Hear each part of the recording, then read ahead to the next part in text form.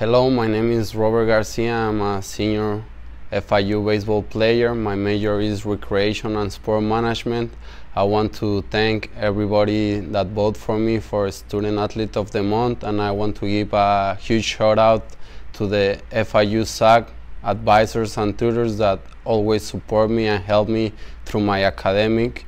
Uh, they've been a huge part of my academic success and I encourage every FIU fan to come and support us during our season. Uh, go Panthers!